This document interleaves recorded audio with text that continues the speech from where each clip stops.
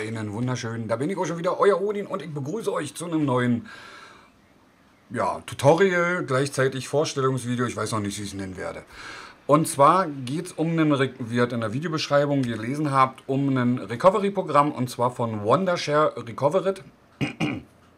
Und Wondershare ist da auf mich zugekommen und hat gefragt, ob äh, ich da Bock hätte auf eine Kooperation, ähm, dass ich das mal vorstellen könnte oder ob ich überhaupt Bock habe, das vorzustellen. Und ja, ich habe gedacht, das ist eine geile Möglichkeit, äh, mal wieder ein Recovery-Programm vorzustellen, weil, seien wir mal ehrlich, nicht nur ich bin verplant, äh, einige von euch ja auch. Und dann kommt es schon mal vor, dass man aus Versehen was löscht. Tobi, Grüße äh, gehen raus. Der hat vor kurzem aus Versehen seine Festplatte gelöscht und mit den ganzen Kinderfotos drauf.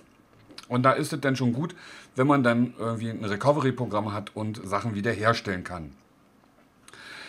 Ähm, ja, und das möchte ich euch mal vorstellen. Das ist hier. Wir gucken uns aber erstmal die Webseite an und dann erkläre ich euch noch ein bisschen was dazu. Und zwar ist das hier die Wondershare-Webseite. Hier haben wir die kostenlose Testversion für Windows, hier die kostenlose Testversion für Mac. Ähm, ihr könnt es aber auch gleich, wenn ihr sagt, ja, ich habe das Video gesehen, ich bin damit zufrieden, ich kaufe das gleich mal, dann könnt ihr hier oben auf Shop gehen. Wo ist er? Da oben. Hier oben ist der Shop. Und ich habe die Shop-Seite schon mal geöffnet. Das sieht dann so aus. Ähm, ja, und hier haben sie halt ganz viel Software drin, logischerweise. Und hier ist Recoverit. Da könnt ihr dann hier auch gratis testen. Könnt ihr hier drauf drücken, dann wird es runtergeladen. Oder wenn ihr, wie gesagt, hier drauf drückt, wird es runtergeladen. Ich habe es ja schon, ich brauche es jetzt nicht nochmal runterladen. Oder ihr geht halt auf jetzt kaufen und dann habt ihr halt verschiedene Möglichkeiten. Ähm, Windows und Mac. Mac ist gleich mal der doppelte teurer. Seht ihr hier? Oder über der doppelte.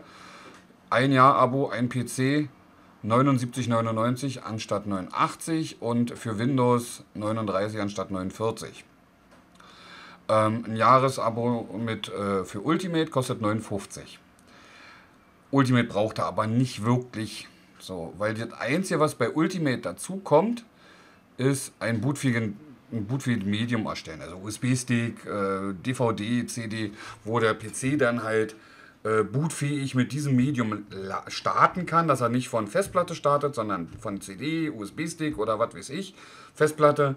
Und äh, dass ihr dann praktisch, wenn das Betriebssystem irgendwie eine Macke hat oder so, noch Daten, die auf der C-Festplatte sind, äh, wieder zurückholen könnt. Also Fotos, Musik, irgendwas, was ihr gerade gespeichert habt. PC ist abgekackt, startet davon CD, dann haut dann USB-Stick, Festplatte oder irgendwas dran und schiebt dann von der C-Festplatte alle drauf. Oder wenn ihr mehrere interne Festplatten habt, könnt ihr von C auf, äh, auf D, E, F oder was weiß ich irgendwo hin kopieren dass ihr euch die Daten nicht verloren gehen und dann macht euer Betriebssystem neu und dann fertig ist. Oder ihr versucht zu reparieren, wenn es mal nur irgendwelche kleinen Fehler hat.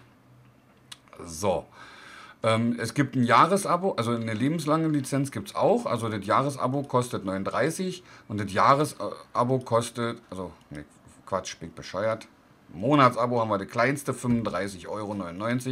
Ist Quatsch, 4 Euro mehr und wir haben ein Jahresabo und lebenslang 10 Euro mehr und wir haben eine lebenslange Lizenz für einen PC.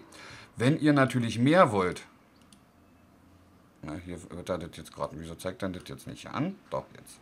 So, äh, Recoverit für Windows, äh, Recoverit Pro für Windows. So, Pro brauchen wir nicht, wir brauchen nur Recoverit. Äh, ein Jahresabo und wir wollen das jetzt für, sagen wir mal, zwei bis fünf PCs haben. Ja. Lebenslang äh, es, persönliche Lizenz haben wir denn hier noch. Ja. Lebenslang wird dann halt nicht mit mehreren PCs unterstützt, sondern nur für einen. Ja. So, dann können wir das schließen. Dann starten wir mal Recoverit, dass ich euch das Programm mal vorher erstmal zeigen kann, wie das optisch aufgebaut ist.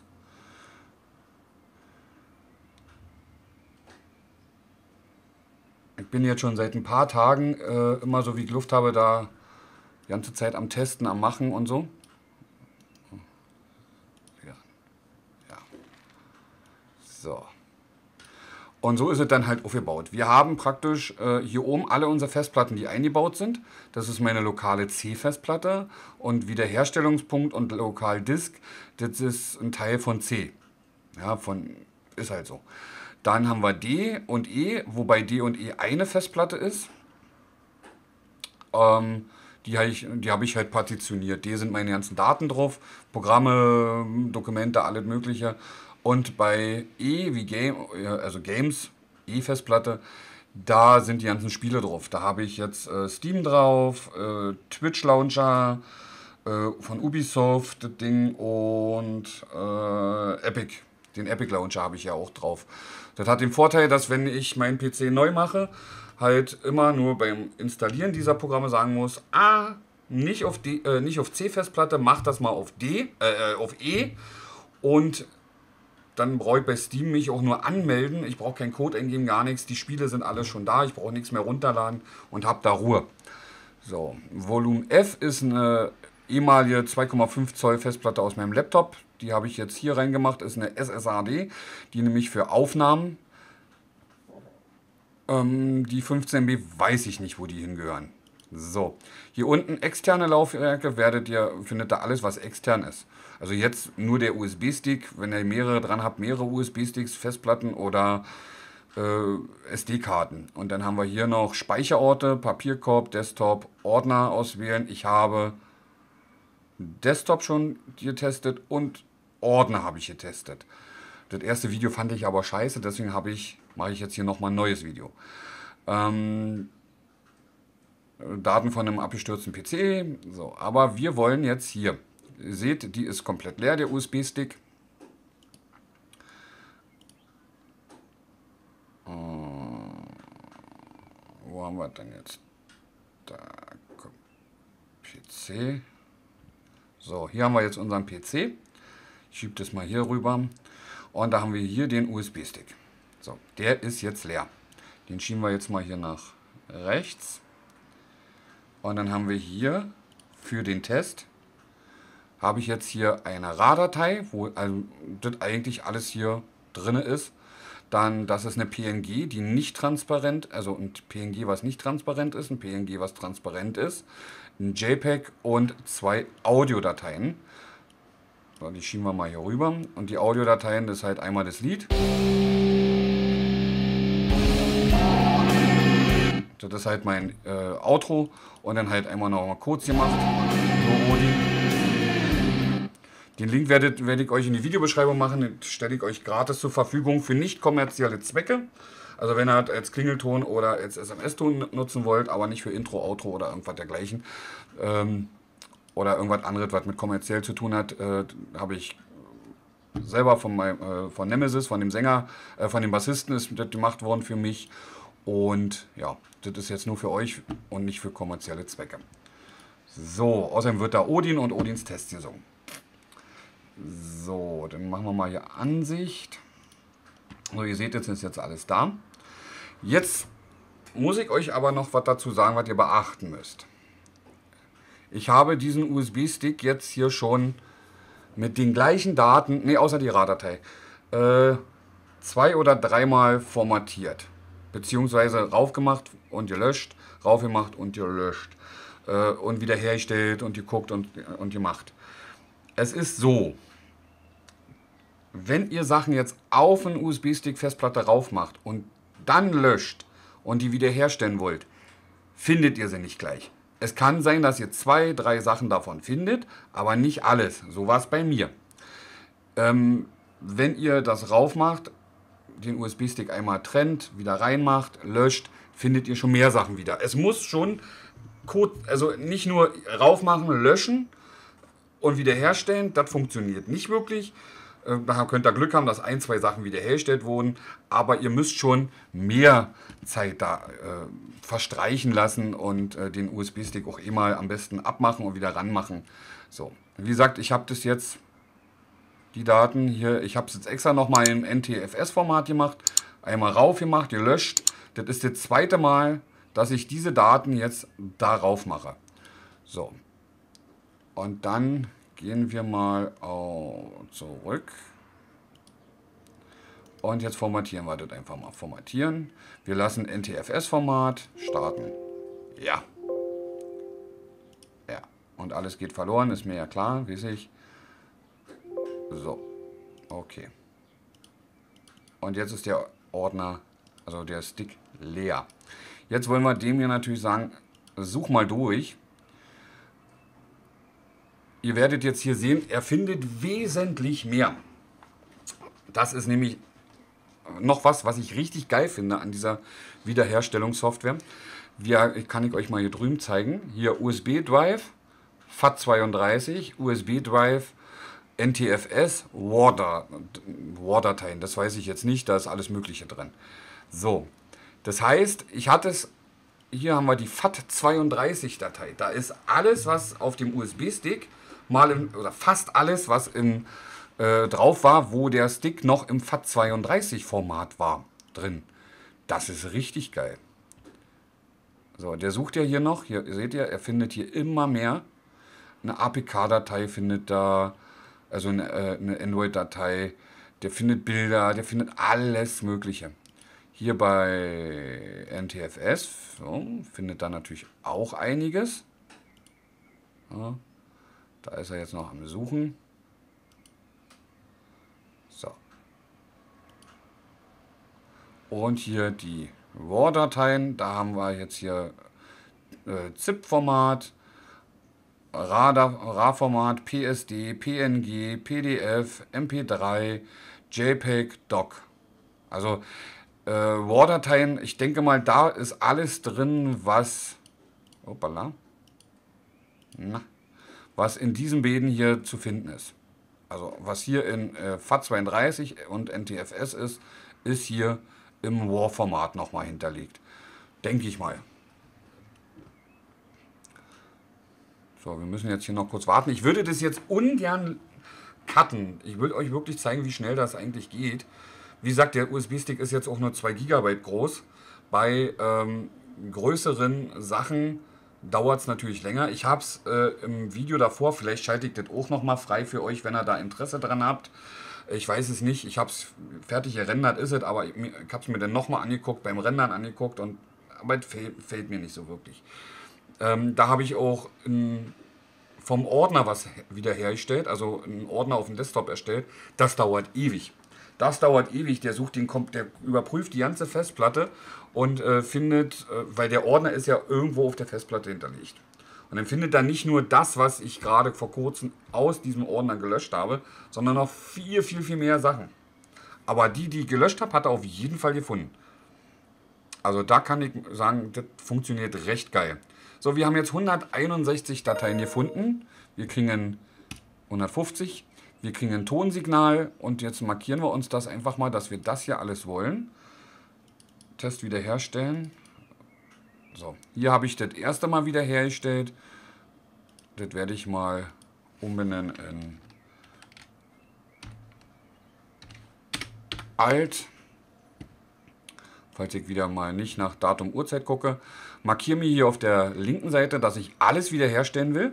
Wir wollen ja alles mal durchgucken. Ich will nicht nur das NTFS wiederherstellen, ich will alles wiederherstellen.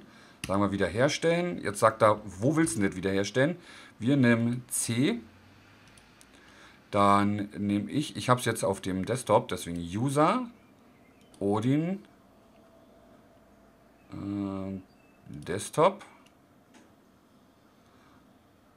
Und dann haben wir hier Testwiederherstellung und da können wir gucken, da haben wir hier alt drin. Wir machen es einfach in den Hauptordner rein, sagen okay und das dauert jetzt.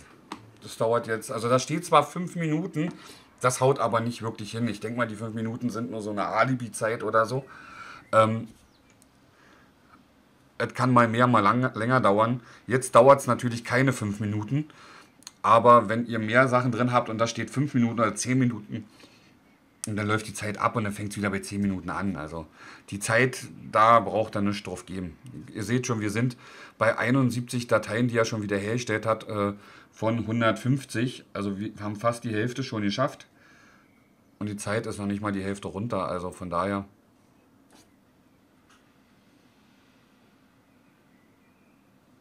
So, jetzt haben wir 50%. Das haut ohnehin hin mit den über 80 Dateien bei 50%. Aber das ist vollkommen egal. Geht darum, dass es fertig wird und dass es funktioniert. Und das macht es wirklich.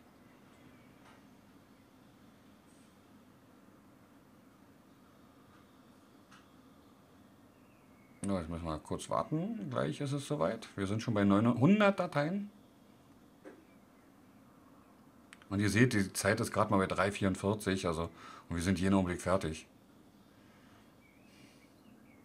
Das wartet auch nicht, bis die Zeit abgelaufen ist. Das ist, wenn's, wenn der Balken da fertig ist, dann ist es fertig. So, es ist fertig und er öffnet sofort den Ordner. Können wir sagen, okay. Wir können das ja mal nach unten verschieben. So, und er hat sofort den Ordner geöffnet. Ich kann euch auch zeigen, dass das dieser Ordner ist. Wir schließen den einfach und gehen einfach auf den Testordner. Und hier öffnen wir uns die neue Recovery-Datei. Ich muss meine Brille mal aufsetzen. Na, Doppelklick. So, und dann haben wir hier einmal FAT32, wir haben NTFS und wir haben RAW. Wir nehmen erstmal NTFS. Systemvolume. Da ist es nicht. So. Da ist es auch nicht. Ist es hier drin? Kann auch sein, dass es im RAW-Format gefunden wird. Da habe ich immer noch nicht so ganz durchgesehen. So, RAW. Und dann nehmen wir einfach mal PNG. So, und da haben wir denn das und das. Das ist schon mal da. Und noch Sachen, die Asbach uralt sind. Ah, hier sind Kontoauszüge. Nee. Das ist von Madame Tussaud, glaube ich. Genau, von Madame Tussaud. Ein Screenshot, den habe ich mitgenommen, weil, falls ihr halt da irgendwas Probleme gibt, dass ich halt zeigen kann, ich habe das gekauft und per PayPal bezahlt. Da habe ich so fünf Tickets für einen schmalen Taler gekauft, also praktisch äh, fünf Attraktionen in Berlin und da waren meine Frau, meine Tochter und ich. Da, ja. Und Berlin Dungeon haben nur meine Frau und ich gemacht zu meinem Geburtstag. Da hat sie mir halt gesagt, dass sie schwanger ist an dem Tag. Ich denke mal, das werde ich aufheben. Wusste gar nicht, dass ich das noch habe. Da haben wir noch PSD-Dateien, sind Adobe-Dateien, also äh, Photoshop, äh, JPEG. Da haben wir hier den Pausebildschirm. Ich kann euch den Ordner nochmal öffnen. So, den Pausebildschirm, das ist ein JPEG. Achso, hier habe ich das schon. So, habe ich schon gelöscht gehabt. So. Und wir callen ja noch die Lieder. Äh, MP3. So, da hat er jetzt eins gefunden. Geht das auch? Ja. Das kurze hat er gefunden. So. Und bei FAT32 kann ich euch mal zeigen, da findet der einen Haufen Scheiß. Der findet hier Sachen. Asbach uralt. Hier steht zwar jetzt das aktuelle Datum, aber das ist ewig her. Hier zum Beispiel YouTube-Banner grün. Das habe ich von Stefan gekriegt. Das ist ja. Oh, fuck, ist das her. Da, wo ich das, wo ich das neue Logo gekriegt habe. Also bestimmt schon ein Jahr her. Äh, was haben wir denn noch? Irgendwas, was ich euch zeigen kann. Hier von Nemesis, wo er hier war, wo ich ihm das äh, YouTube-Profil gemacht habe. Das ist auch schon über ein Jahr her.